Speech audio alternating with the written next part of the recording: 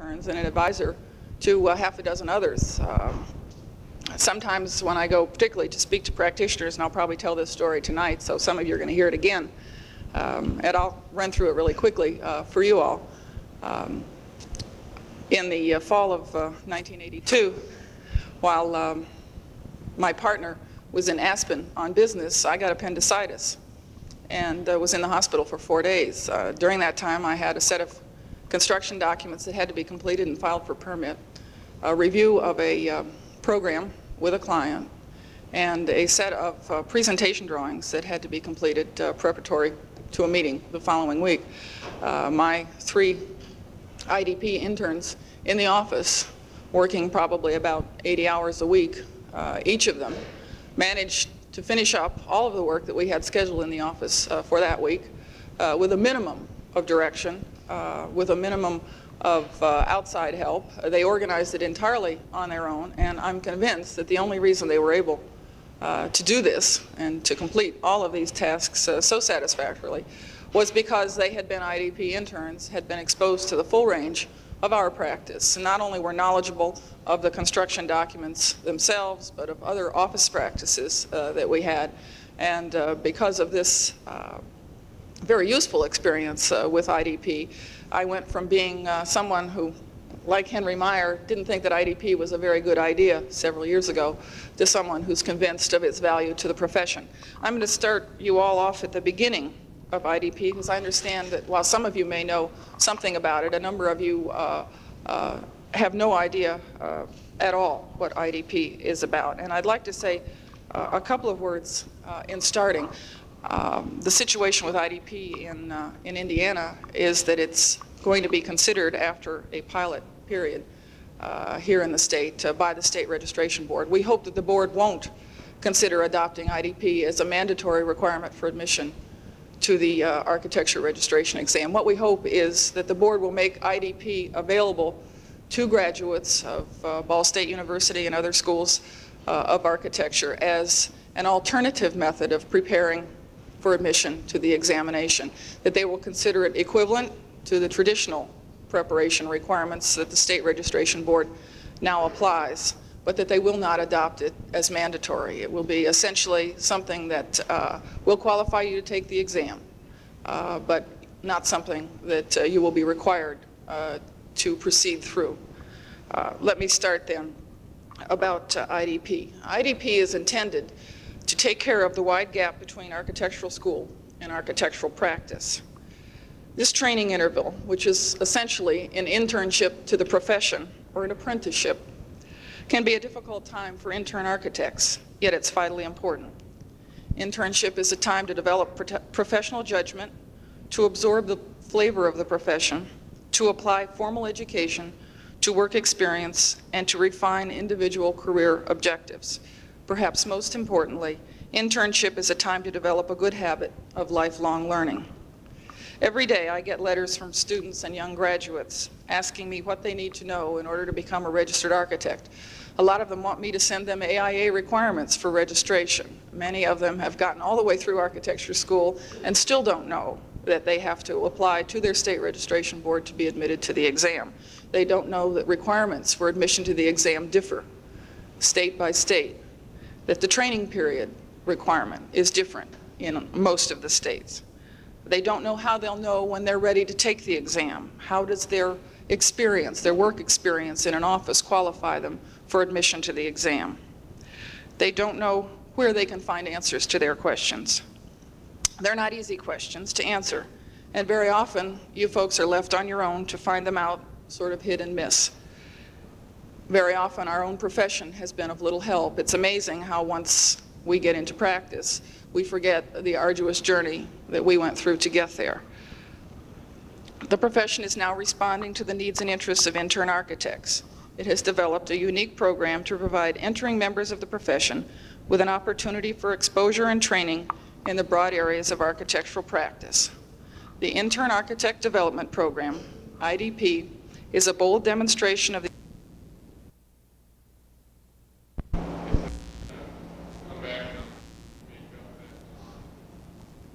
if Not, not if it was adopted under the circumstances that I outlined. In other words, if you were already in the pipeline, you have a right to finish. Uh, But uh, I- I'd like to clear up what seems to be maybe a little bit of a, of a misconception on IDP. IDP requires 700 value units to, uh, to complete it. The, the great bulk of those are in work that most of you uh, uh, will probably be doing when you graduate, in construction documents. Uh, There is a great deal of flexibility in the requirements. Uh, Very few of you will find that you're unable to meet the minimums in the several different area, the 14 different uh, areas. Um, Right now, the requirements of the state of uh, Indiana and, and most other states are that, uh, that a form be filled out when you've completed your training period that's submitted to the state registration board. Those that you have worked for certify that you spent 25% of your time doing this and 40% doing something else. And then the state registration board decides whether that is adequate. I mean, have you been prepared to be an architect? Do you know all of the range of experience that an architect is required to have to practice?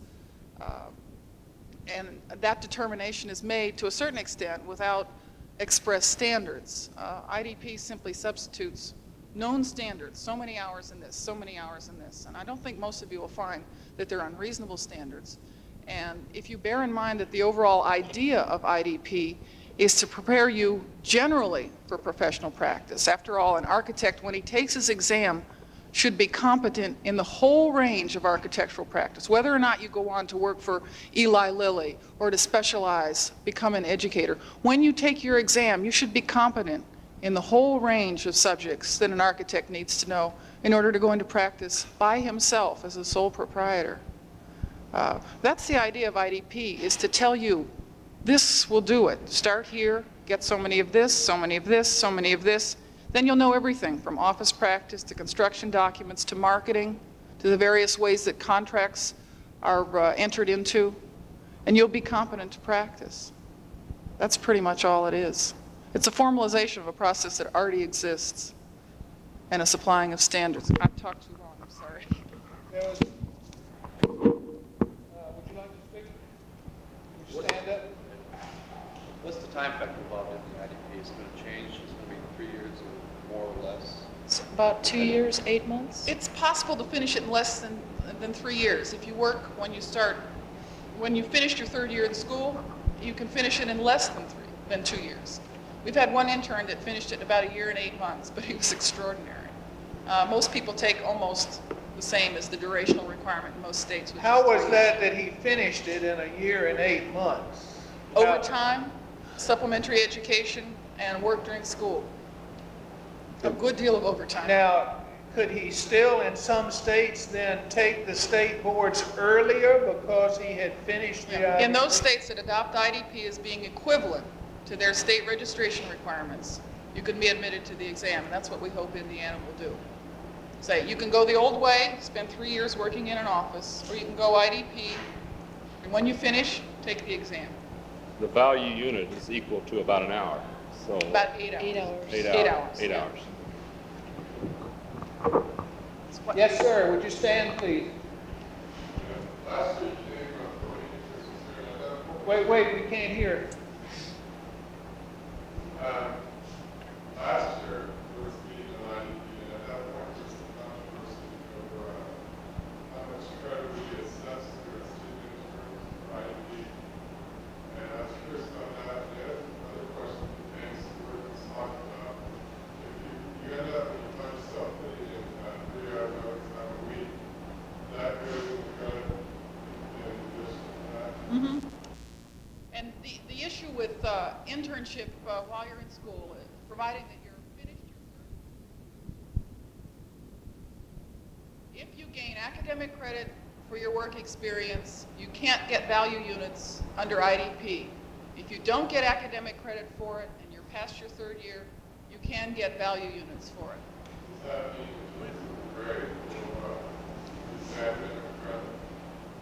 You can't gain credit if you're doing a co-op program.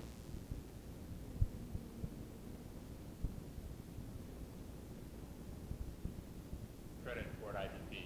Well, as a matter of, as a matter of fact, in Indiana, our internship has been counted in the past Yeah, no, that, it, in Indiana.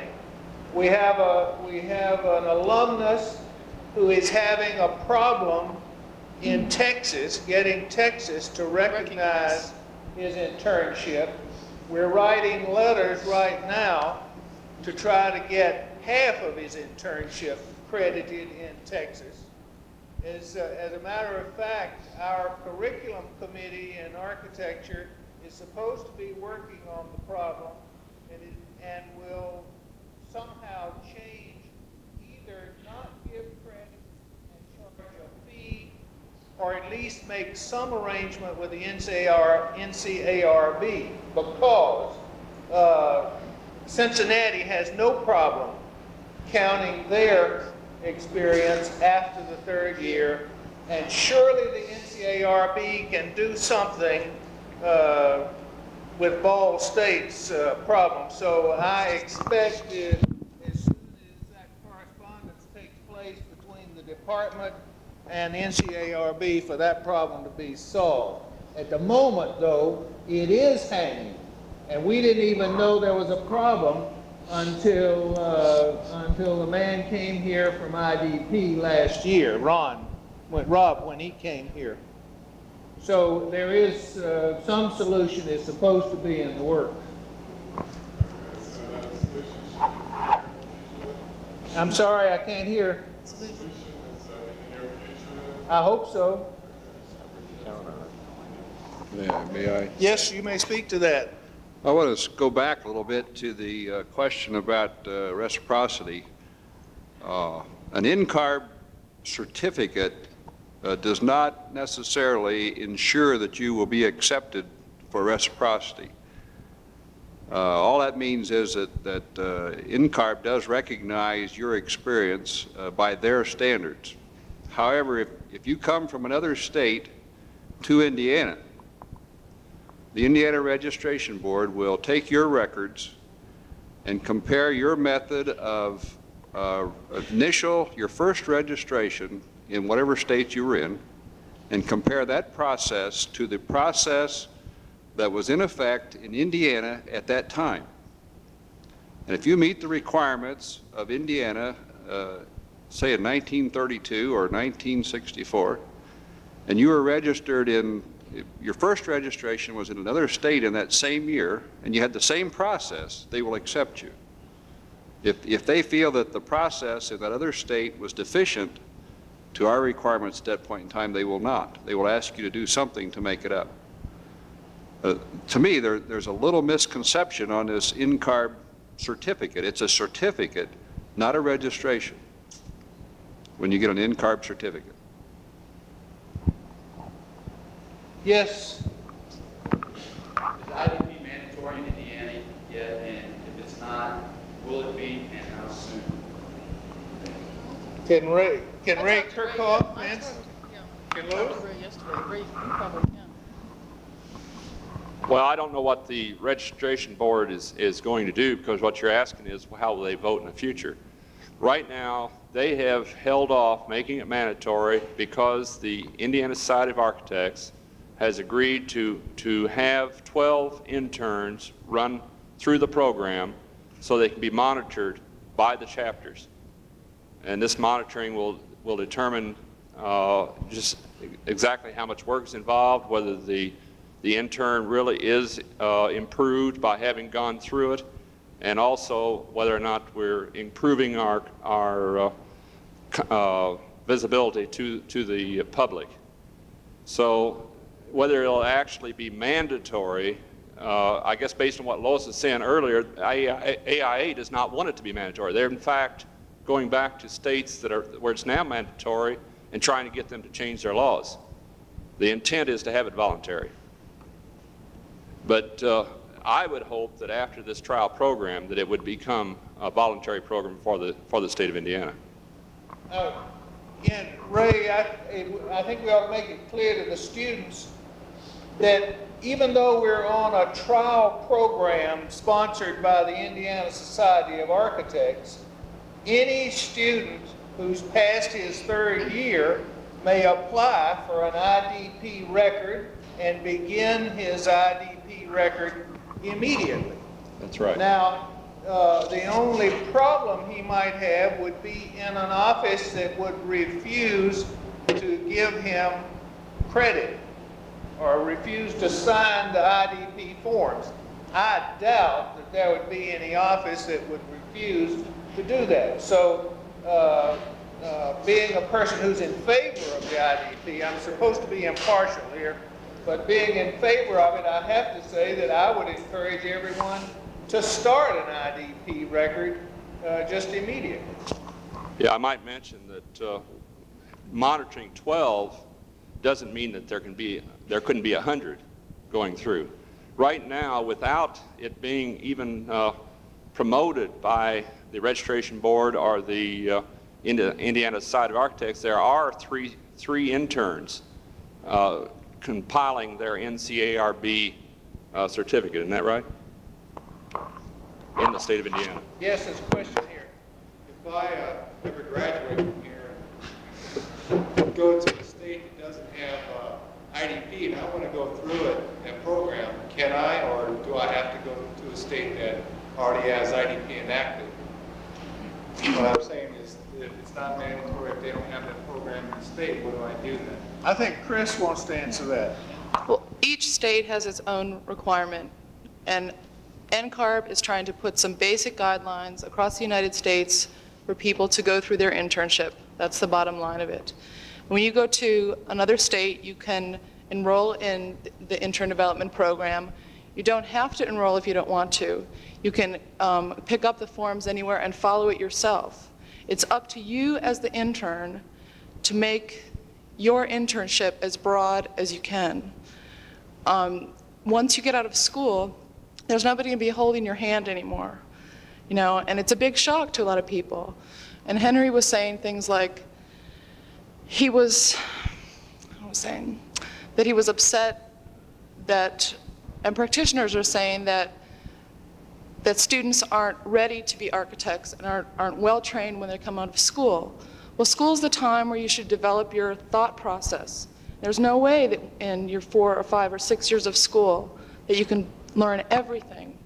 Okay, you get out into the field, and I think it is part of a responsibility of a registered, excuse me, a registered architect to take some time and bring you up and improve you to become a, a better professional. You know, but the basic question is, yes, you can do it on your own. It's up to you to continue your education for the rest of your life. It doesn't stop as soon as you're finished with school. You know, it'll go forever. Yes, question here. My question is, do you get just as much as, uh, credit for working for a large corporation, like uh, IBM facilities, or working in a Department of Metropolitan Development in Indianapolis, somebody like that, that you get in a architecture? It's the same. One unit is an eight-hour day. But there's a minimum that you have to acquire in traditional practice. So the answer in, in many respects is no. You'll find that the, the requirements, I'm not familiar with the requirements of the Indiana State Board in, uh, for what I would call, say, the non-traditional uh, office setting. Uh, But um, in general, uh, it is not possible to complete IDP without spending approximately a year uh, in the office of a registered architect. Um, This goes along with our feeling that it's necessary to be a generalist. You have to have broad exposure, you have to know everything about the practice of architecture. You don't learn that working for a large corporation as a facilities designer, and you've got to get that. It's essential. May, may I add to, to that answer in that if you worked, for instance, in Indianapolis for the Department of Metropolitan Development, you would be getting some experience there that you would not be getting in Henry Meier's office. There are some elements then that you should make up with internship in a different place or with s- uh, supplementary education, guide education or by taking some, some supplementary education courses that will be offered or that uh, are offered in many places at this point in time. So in a, in a way, it makes it uh, more desirable to work for a, for a business or for a Department of Metropolitan Development in that there is a route to go to get that further uh, uh, education. In the same way, if you're working in a small office or a large office that's dealing with uh, strict architectural process, that there are some things that you may still need to get through a supplementary education uh, uh, source. So that, so that you really look at that three years as a program, as a whole educational program, and it reinforces the idea of the internship as still being a continuing learning process preparing for licensing.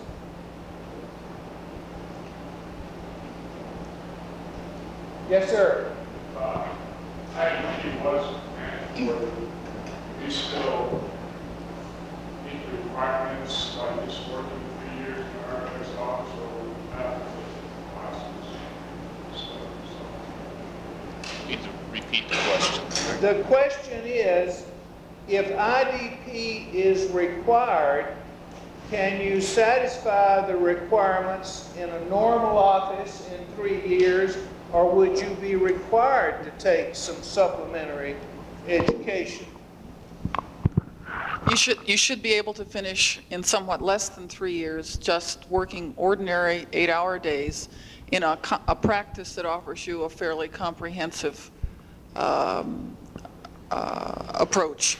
Uh, If you can get exposure to, you know, programming, client contact, uh, to office practice uh, procedures, uh, as well as to construction documents, yes, you shouldn't have any trouble finishing IDP in three years without supplementary education. Uh, Henry, Uh, I want to go back to the question about uh, working for a large uh, facilities department. If you do have an opportunity to uh, get that kind of a position when you graduate, uh, the thing you need to do is, is to talk to their personnel people to be sure that they are, will be committed to help you as much as they can uh, with your IDP program.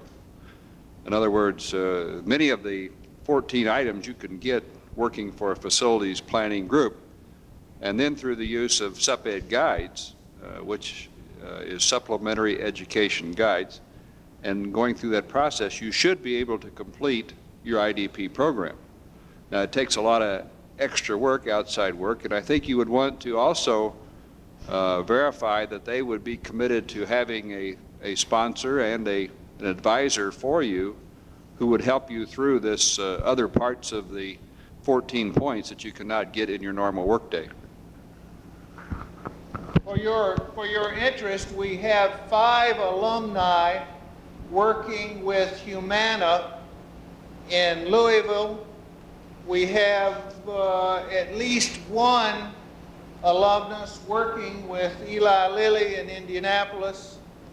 We have one alumnus at least working with the Department of Metropolitan Development in Indianapolis. We have uh, at least one alumnus working with Ball Corporation in their architectural branch here in Muncie. So we do have alumni in, uh, in lar- large uh, uh, corporate or metropolitan situations. Yes, sir. I'm still confused about cost. I heard it thirty dollars and I heard it was like fifteen. Where is?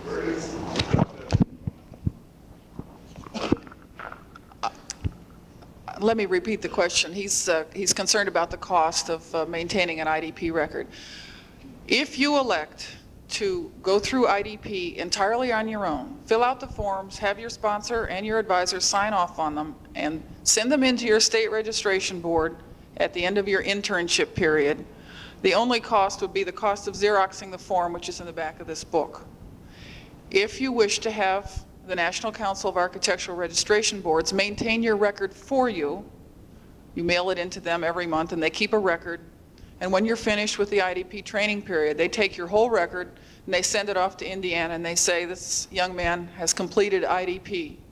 Then that costs you $30 for the initial application, and it costs you $20 each year that, to maintain the application, and it costs you $45 to have that application transferred from NCARB to the state when you're ready to take your examination. But you don't have to do it that way. That's simply a convenience.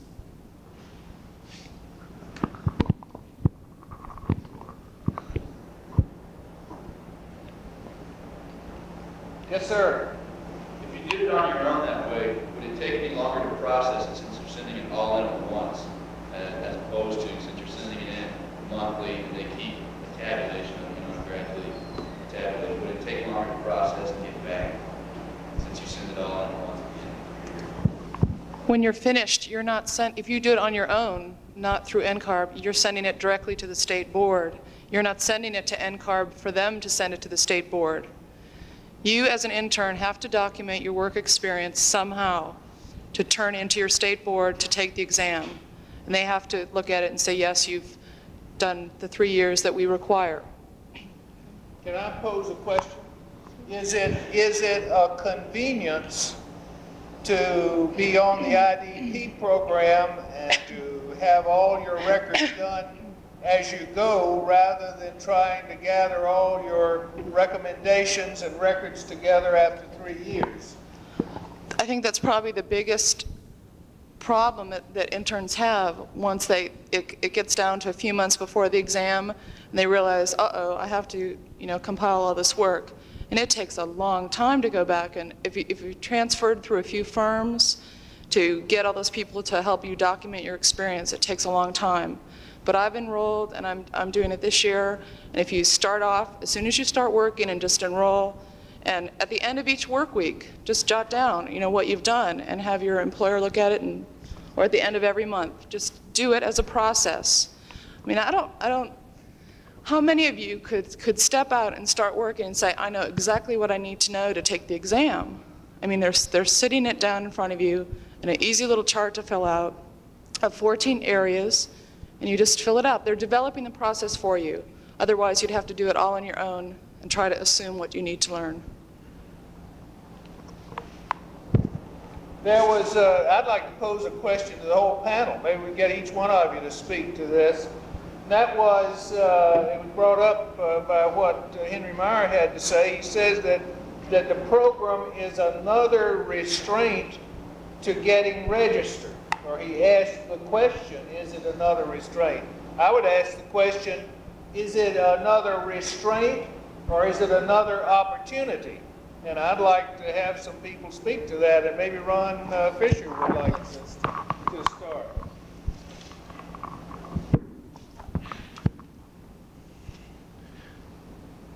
I believe it would be made mandatory that there are a lot of questions and there are a lot of restraints that could be built into that. But given the fact that to date that it is not mandatory, that we're running a test program here in Indiana, leading to perhaps a recommendation that it be voluntary, I feel that that leaves the student or the intern with the opportunity to see which way he wants to go, to meet his requirements to take the exam, and, and that way he can look at it and decide where the restraints are or not, and where his opportunities are. Lois? I think what Christine said is probably the, the best feature of the program. It gives you a roadmap to prepare yourself. It gives you some criteria against which to measure your training experience. You can see at a glance after you've been a few months into the program that you need to gather more experience in office practice, in programming, in client contact. It gives you a tool to go to your employer and say, uh, I'm going to be taking my exams next year, and look, I'm still short, you know, 50 value units in, uh, in client contact. Isn't there some way we can work this out?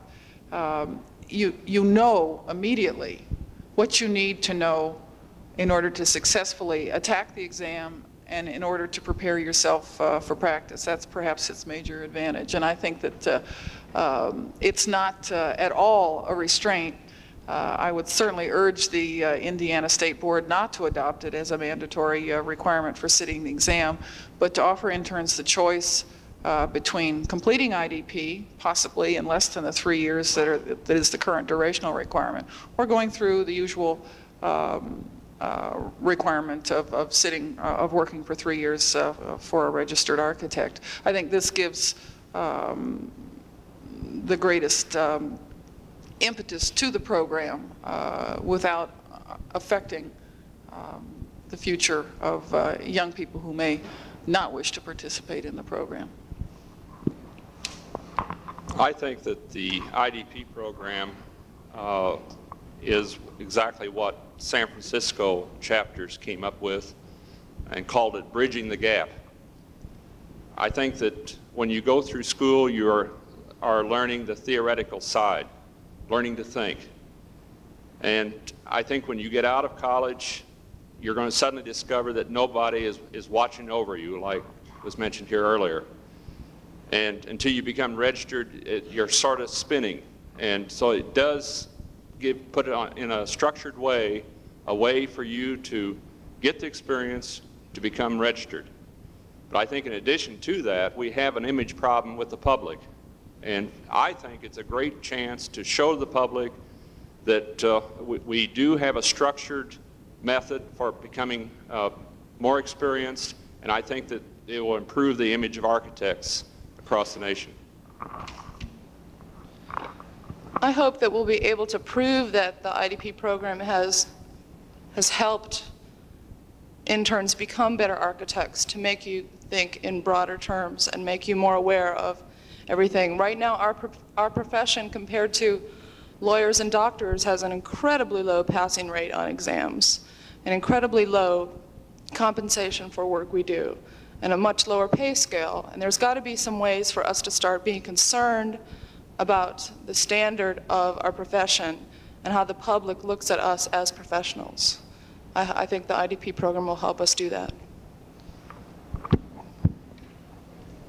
I look upon this IDP program, particularly as it's already been implemented by the, the states where it currently is online, as very decidedly a restraint uh, on becoming a, a, professional licensed architect.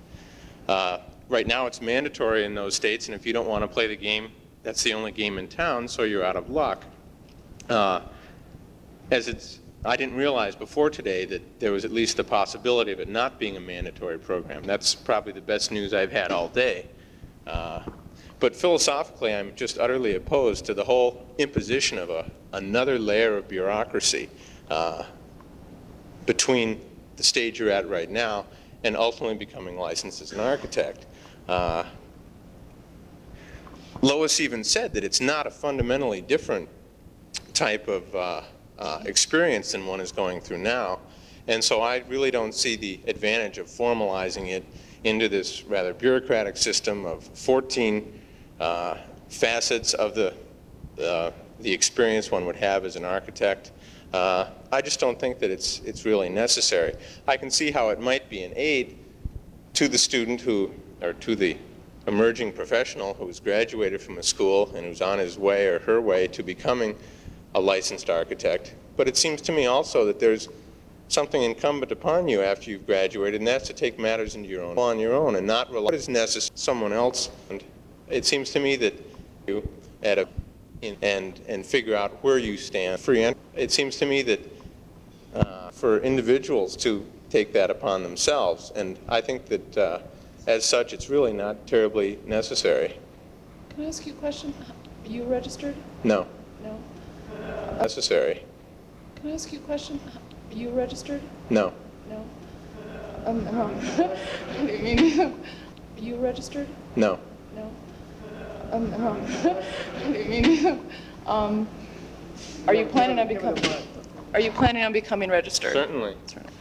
How did you find out what you need to turn into your state board, or how do you know about that?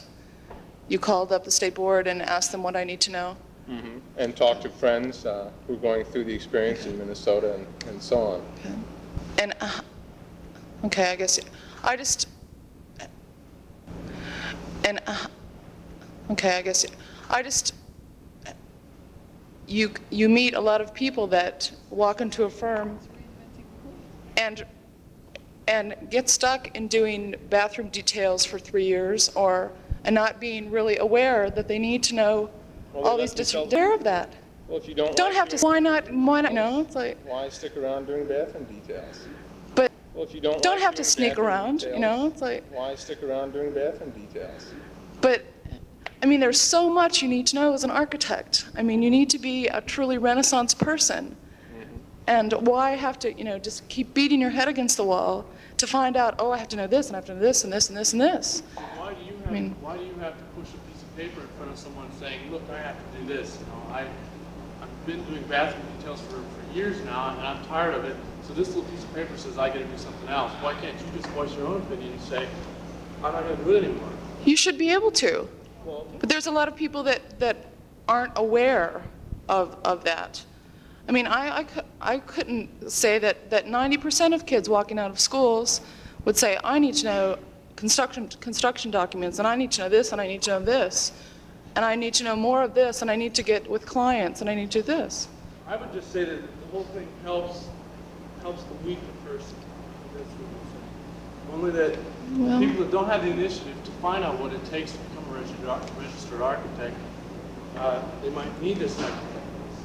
Well, th- that may be, comment- The comment is that, uh, from the front here was that, that the, uh, uh, that it is a, a help to the weaker person. Uh, uh, Could, uh, we have a comment over here or a question? Oh, Would you stand? if it does become voluntary, then there isn't actually anything that says you're going to get that experience, correct? If it's all, if it's a voluntary program and I work for Mr. Meier, then he doesn't necessarily have to give me all the experiences that are laid out by the IDP. Oh, I bet he wouldn't refuse, though.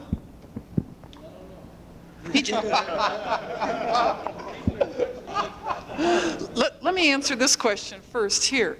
Um, the problem that IDP is trying to address is that when you come out of school, you have no way of really understanding what it's going to take to be registered. You can write your board, you can say, what do I need? And they'll say three years work under a registered architect, three character references, over 18, et cetera, et cetera, an accredited degree, first professional degree. But you don't know how much of your time you should be spending where. And no matter how much you talk to your peers, you're not going to find that out. You can spend some time with AIA members, and they'll tell you one thing, and some will tell you some, something else, because a lot of them don't know either. That's the reason for IDP. It's a training standard. It says, and it's based on a study of what architectural professionals do for a living and what they need to know in order to do a good job at it. It says, so much of your time should be spent here and so much somewhere else. And so if you prepare in this way, you'll have a comprehensive training period. The thing I, it's like to test, uh, the registration, when, when you talk to people who took the registration the year before, you might ask them, how much did I study on the structures part? Because I'm not really sure if I want to study the, you know, the whole sequence that I had. And they might say, well, you might deal with this and this and this because these are the thrust of the, the question. So in that way, you know, I would use that type of situation for, anything. That, that, uh, how much, you know, should I be doing construction documents for three years? You might say, no, you should get into supply and contractor. I, I just don't think that, that the actual structure is necessary unless, unless you really don't know. How do you know how much of it you've done if you don't keep track of it?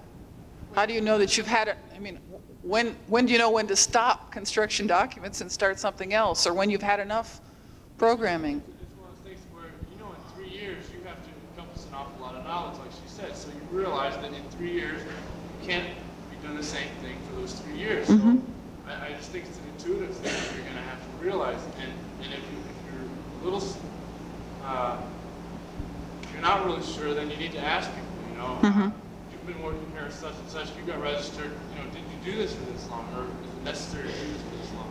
I, I don't think that, you know, you need to keep checking off things. I mean, I keep my timesheets and all that stuff just for record, but, uh, I don't keep track of exactly, uh, what I'm doing. In my head, I know I'm deficient in certain areas, so I'll remember that, but it's not one of those things where I need to have a little piece of paper, you know, things to do today, you know? Well, I don't think IDP's like that either. It- I mean, it just keeps track. Uh, It's a fairly simple form in the back, and it tells you that you should have so many of this and so many of that, and you try to approach that. Uh, The, it- the, uh, the state registration boards have the responsibility of protection of the health and safety of the people who inhabit the buildings that are designed by architects. In a way, the state registration boards uh, cannot depend solely upon the examination or upon your own understanding of your professional responsibility or of your own decision-making as to what kind of experience you feel that you need. And so for that reason, the state registration boards uh, are interested in the quality of that internship period.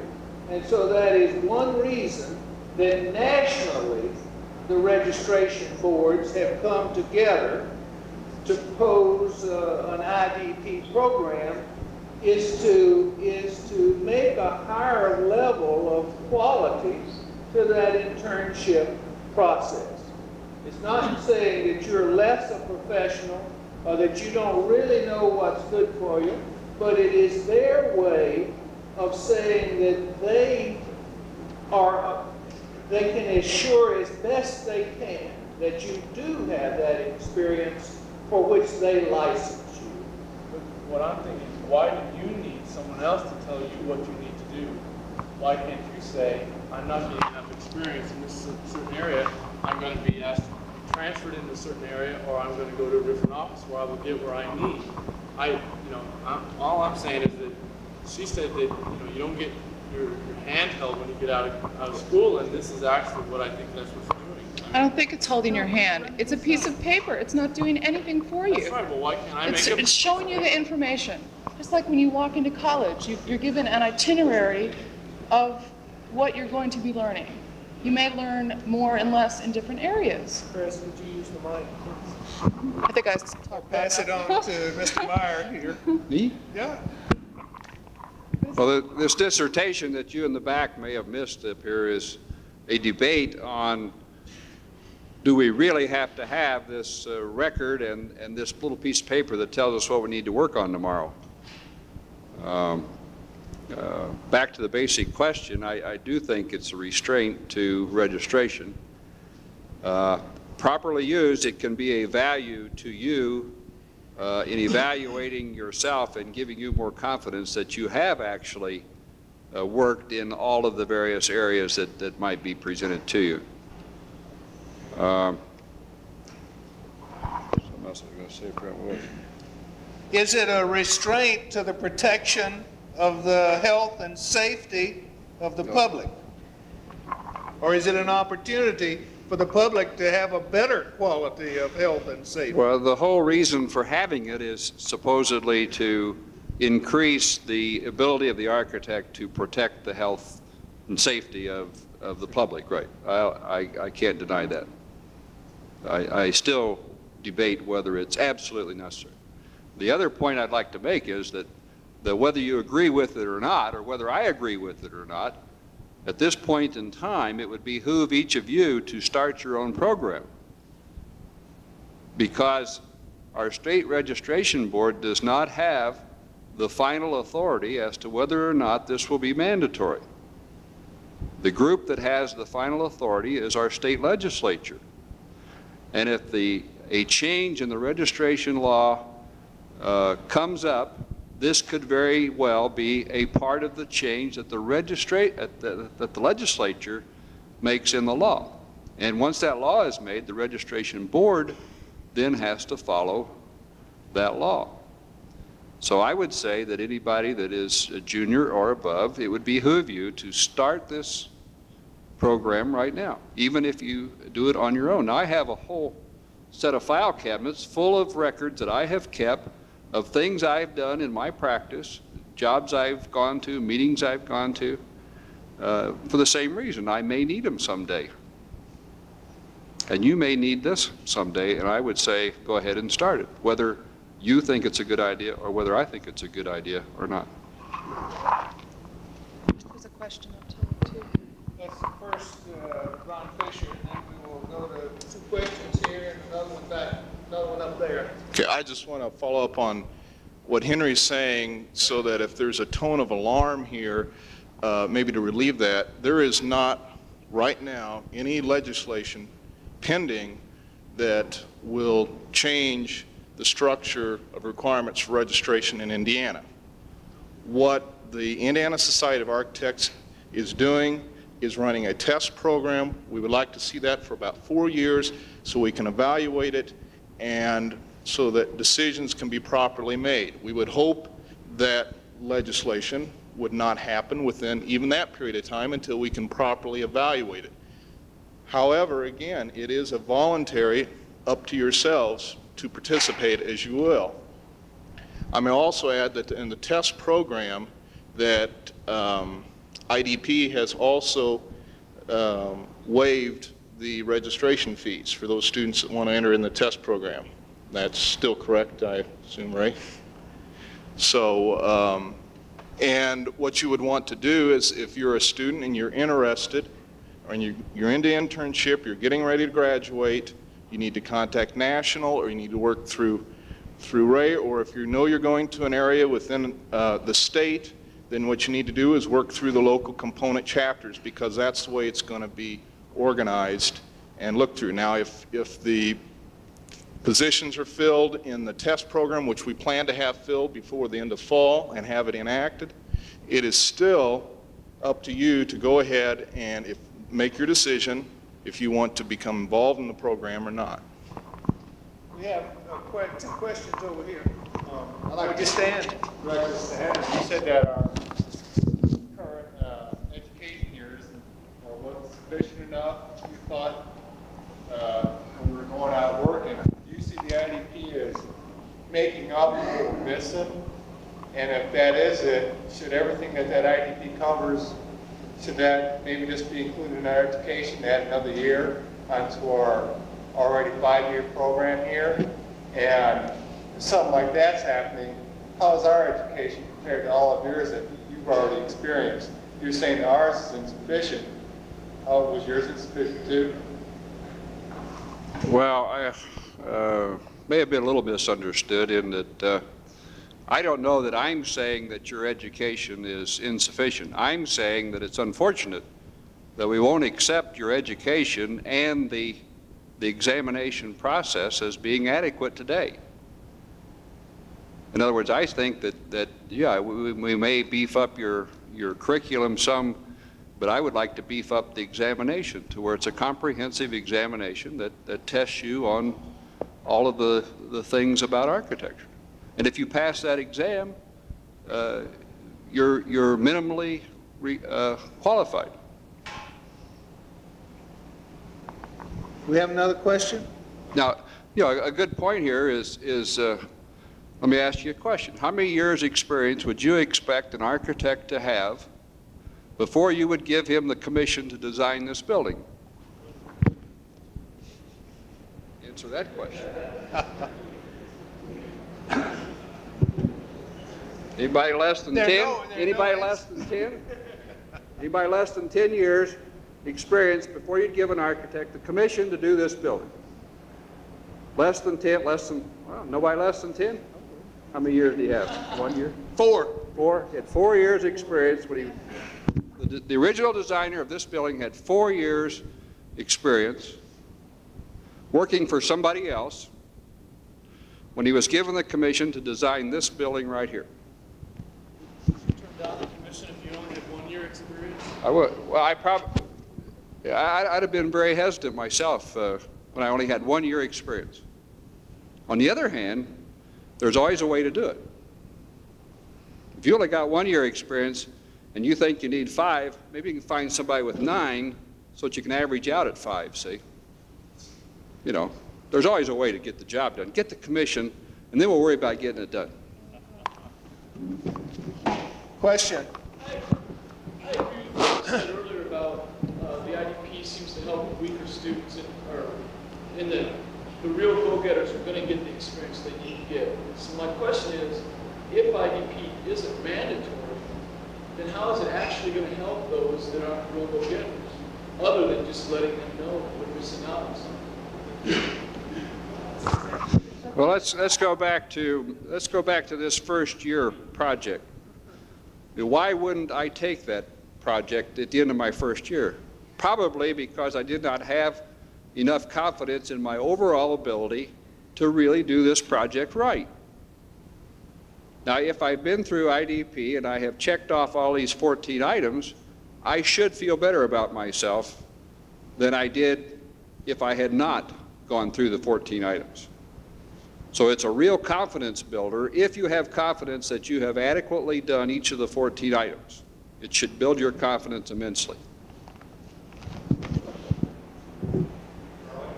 What, uh, we had a question from Bob Medden, but I don't, where, where is he? Now, uh, uh, Professor Palmer.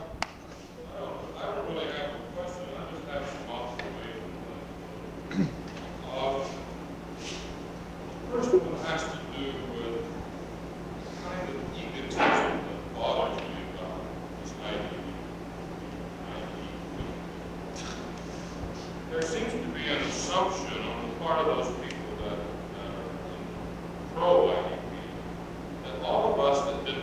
this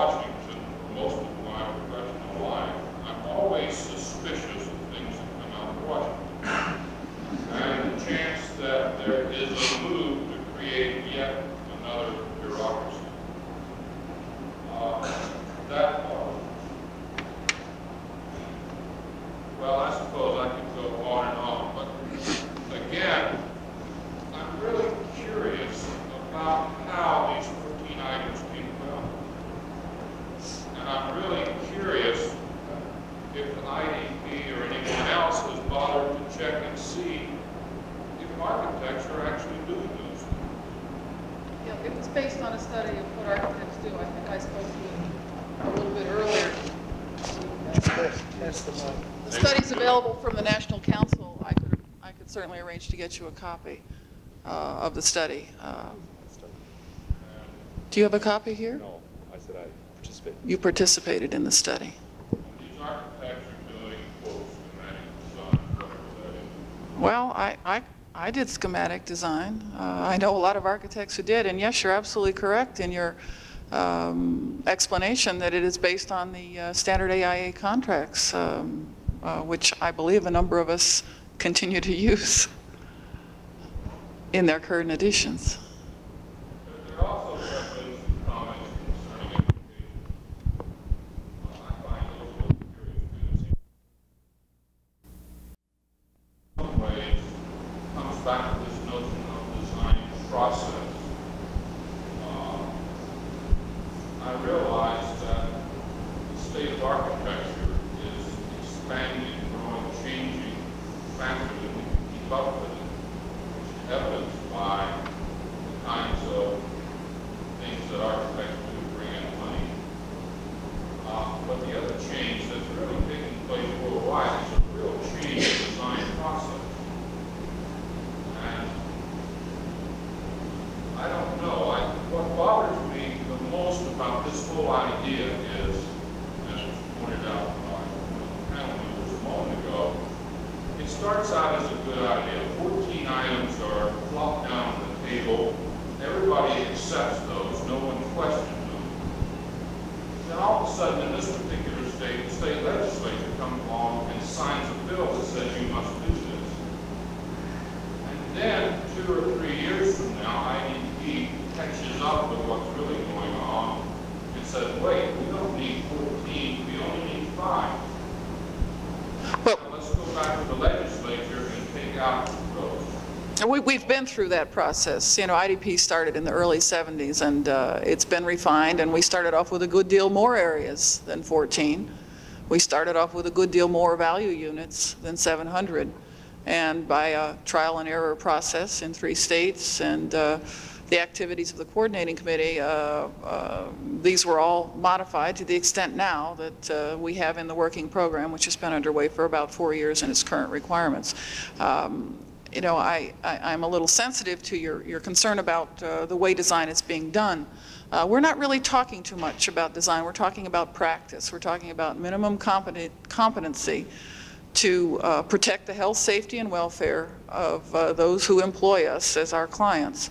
Uh, we're not talking about design methodology in IDP, and we're not really dealing, when we talk about schematic design, with design, we're talking about the way an office runs a project through it. We're talking about administration more than anything. Um, We're talking about documents, and we're not talking about how a project uh, comes about in the mind of the designer. Certainly not. Okay, I recognize that you use certain kinds of nomenclature to make decisions. And I recognize that I come along and I, generically speaking, think of design as, as everything. The beginning of a project, it goes all the way through Mm-hmm. the end. Certainly. Concept and detail, there's a different, all of it is design. Uh, But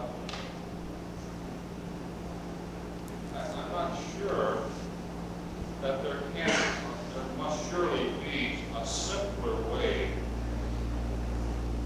to set up all this criteria than 14 different things. And then I read the description in here, and again, go back to conventional thinking. Is that possible? Um, I realize that one or two or three voices out there in the middle of nowhere is not going to have that much impact on what's going on in Washington. My only encouragement is that you seriously go back and look at some of those things and see if it is possible. I know it's possible. See if your board will actually, because I think if the board on conclusion, we're going to get this thing whether we like it or not. Um, Otherwise, you wouldn't be out campaigning for it, right? Well, I couldn't be said to be campaigning. I'm, I was invited to explain a program in a state that I understand is considering a trial period. And.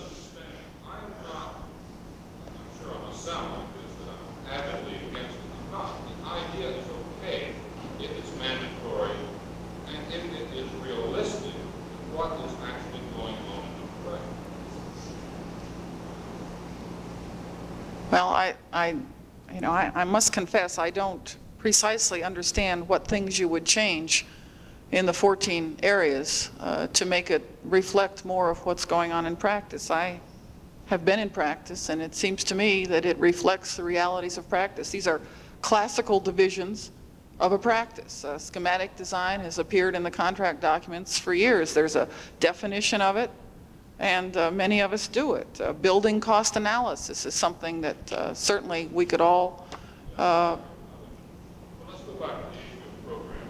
Okay. Narrow thinking programming is far larger than, and can involve much more than that, again, thirty-year-old statement. More than that, we know that in architecture, especially in the last, say, five to ten years, there has been, uh, a a real input of the issue of human-environment relations to the point that it is basically taking over everything. There we go. Yes, I know that. Uh, In architecture, that becomes an incredibly important issue to the point that it shows up in the NAAB criteria now. And again, the number of firms that are dealing with strictly that issue in organizational planning, for example, and there are a lot of them, that is not in there. It's not, it's not reflected there. I'm not saying it should be. What I'm really saying is, can the IDP nomenclature be squeezed down to an absolute minimum? Give the interns some flexibility to move around through that, understanding that this idea of architecture is a very broad idea. I think that's exactly what we do. Uh, The, uh, the IDP program has minimums that have to be gained in certain areas, and the balance of the credits can be obtained in uh, any of the areas or in what we call other activities. Uh, uh, Just slightly over half of the credits have to be acquired in one, you know, in the specific uh, minimums. Uh, There's no restriction that this is the only thing that can be done. It's, it's a suggestion, it's a guide, it's a standard. It's a minimum. And beyond that, it's what the intern makes of it. I think Require schematic That's like people do it. Chris? There are 465 units that are required in those specific categories. The rest, up to 700, you can gain in whatever way you wish, as long as you're working under the direction of a registered architect. You can work on interior design. I'm working for a year in the, in the institute, running the student chapters. I'm not doing architecture. I'm doing more management. And I'm gaining a year's worth of related activities. You can do a, a year's master's and gain a year's worth. So it's not that constraining. You can go on to develop areas that you'd rather develop. Yes, we have a question or comment here?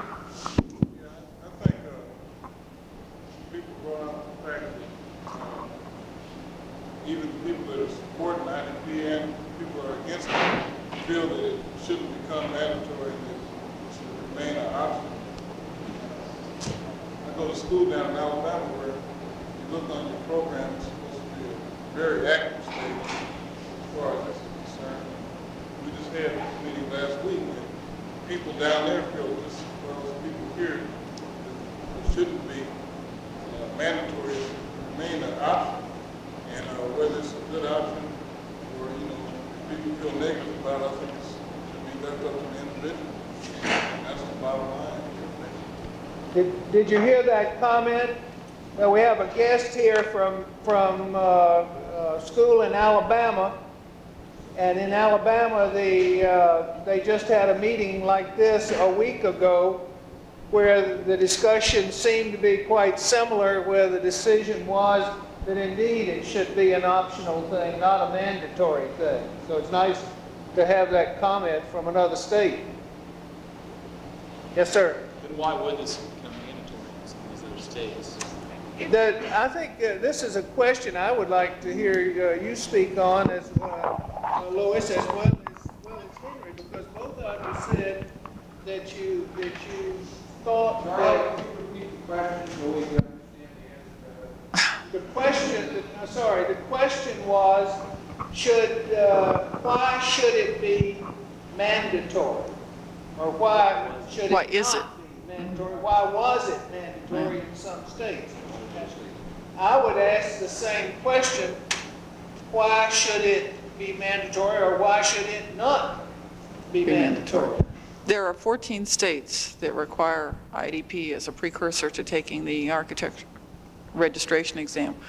For the most part, those are states that adopted it as a requirement because it was the simplest thing for them to do. The requirements for admission to the uh, registration exam are set by the individual states. In a state with a small board with no particular professional competency in professional staff, for instance, if they don't have an architect who is, uh, say, the executive director of the board or something like that, it is far easier for them to simply adopt a standard and say anybody who complies uh, then can be admitted to the exam. In other words, they will require that the NCARB council record be maintained, and when NCARB sends them the completed council record, they'll admit you to the exam, and all they have to do is put your name on a list from another list. Uh, And that's the attraction to the state registration boards for a mandatory IDP. It's very simple. It's much more complicated and time-consuming for a state to do what Indiana does now, look over your requirements uh, or your, your qualifications individually when your record comes in as you're getting re- ready to take the exam. Or look over an IDP record that you've maintained when you've completed it and send it in. Have, have those mandatory states had legal problems with the? There have been some, yes, and I think that probably uh, the major issue that's going to rise, uh, or actually has, has started, is uh, the, um, uh, the matter of admission to practice, you know, from a non-IDP state. Uh, That's going to be a a continuing concern, I think, of the next few years. Two states, um, uh, Florida and Louisiana, and actually now, now Texas, have their own state systems where they use the IDP system, but they manage the program at the state level, and- and they don't require the IDP state record, but they do all of the reviewing of the records themselves within the state on the state registration board. Um, And uh, two states, Louisiana and Texas, have a paid IDP coordinator that takes charge of doing that. But the major reason why you will see it as being mandatory in some states is uh, simply the opinion that it will be much easier to manage and it will require less staffing. These days, when government agencies are being asked to cut their budgets by X percent, uh, there very often is no one who will stand up against it and say that, you know, uh, that we have to maintain these things in the state, that it's important. Uh, To keep control of the process ourselves, it's much easier just to get the notice from NCARB and, uh, and admit you to the exam, and somebody else essentially has done the work and you've paid for it. So actually, the ball has started rolling and the government has really taken it a little too far? It's not the government. Um, The National Council of Architectural Registration Boards is, uh, and, and the state is a- an organization uh, of the local registration boards, but strictly speaking, it's, uh, it's a, it's a quasi-governmental, they are quasi-governmental agencies. uh, uh, And it, it's interesting because the AIA has always opposed mandatory implementation of IDP in a state. And Most of the state registration board members, who usually serve uh, voluntarily for a, a term, are AIA members. Even so, the attraction of having that easily administered program is, uh, is often more than they can uh, uh, resist. Would Henry Meier like to Henry, do you want to to talk a that? little bit? Henry, Henry, are you a member of the state registry? Pardon? I'm anti. I've got a little discussion going with the registration board myself. Um, Let's see, we were going to talk about, uh, oh, Should it be mandatory uh, I was answering his question about, uh, about um, Why do states have it? why do states have it mandatory? Let's go back a little further than what Lois went and, and go back to uh, why we even have a three-year experience requirement. Uh, The three-year experience requirement came ba- back in the 60s uh, in response to uh, the great uh, consumer advocates who in those days were pursuing everything being better and everything being better cataloged and uh, better controlled. And in that our Indiana State Registration Board was up for sunset review, uh, our registration board felt that, in our State Society of Architects both, felt that we needed to do something to show those people that we're really getting better and we're doing a better job of controlling ourselves, because we do control ourselves as a profession in that uh, at that point in time, all of the board members were registered architects, and these registered architects were controlling architects, and that was bad. You know, you're not supposed to do that. So they threw in the three-year obligation, and, and Indiana was one of the first states to do this. And most other states then followed because NCARB picked that up as a good idea and, and suggested that everybody do it, and so most of them jumped in line and did it. Okay, now we've got a three-year requirement for all of the non-registered people. What are we going to do with them? So now we need a method of, of monitoring what they're actually doing because we can't just have them out there drawing window details and, and uh, bathrooms. We used to draw window details. I guess it's bathrooms now. But in any case, uh, we had to we had to know what they were doing. So a, an AIA committee was appointed to study that, and they came up with uh, a very crude IDP about 10 years ago, as Lois has talked about, uh, a program which required almost every hour of your three years to be cataloged. Almost every hour, the first program that came, and that's when I was really opposed to this. You know, I, I've toned down quite a bit in eight or nine years here because they have responded to many of my complaints, the ones that I was hearing too.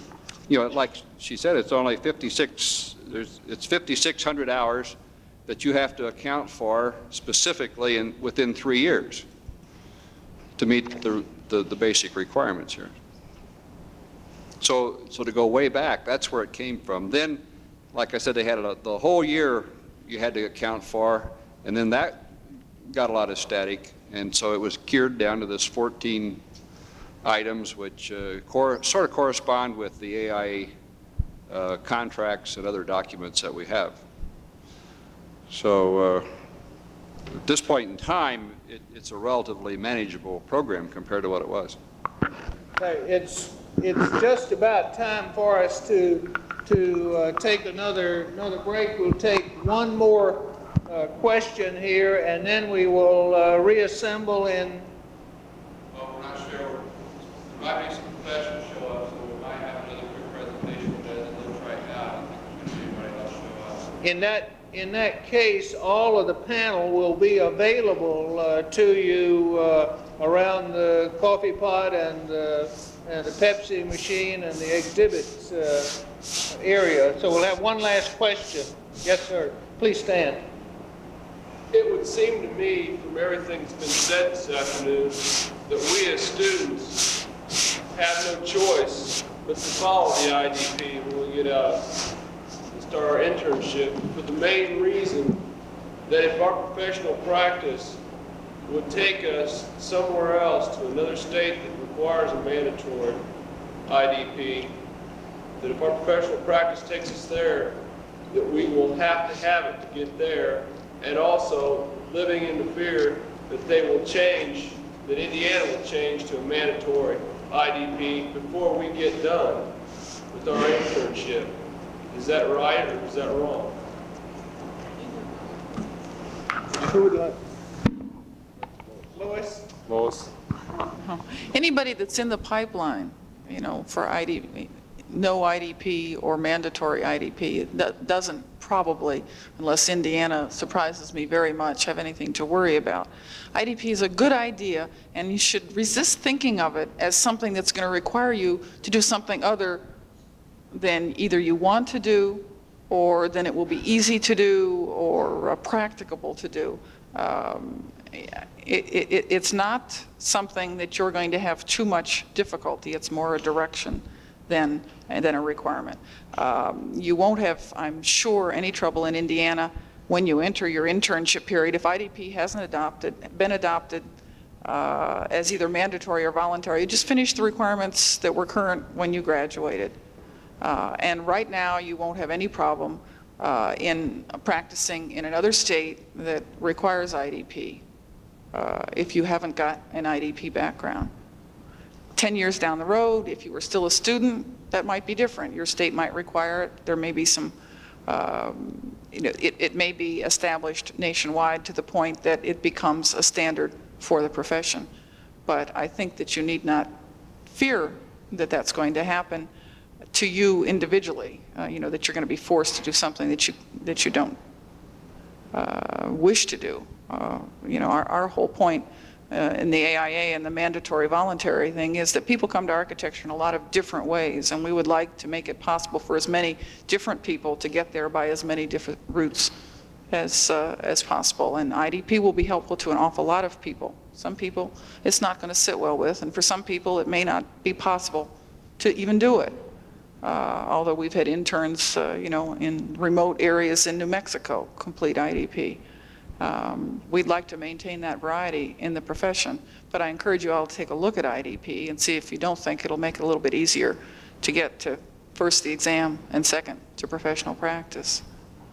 Thank, you. thank you very much, Lois. I'd like to uh, express thanks uh, of the college and the department to the panelists and especially to uh, Lois and Chris for coming out here and traveling this way to be with us today and for uh, that devil of an advocate, Henry Meier, for being here and for Ron and Tim and Ray Kirchhoff for, for joining us. Many, many thanks. Appreciate it.